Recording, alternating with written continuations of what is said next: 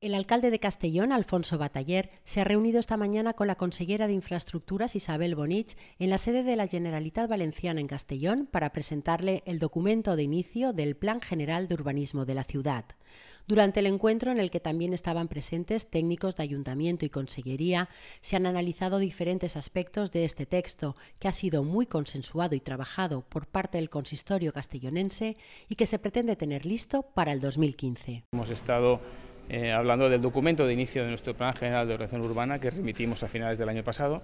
y yo quiero que este año, bueno, pues eh, que todos los servicios técnicos, los nuestros y los de ella, se pongan a trabajar, puesto que como ya advertí y, les eh, puntualicé en una reunión, me gustaría tenerlo en el 2015. Es un,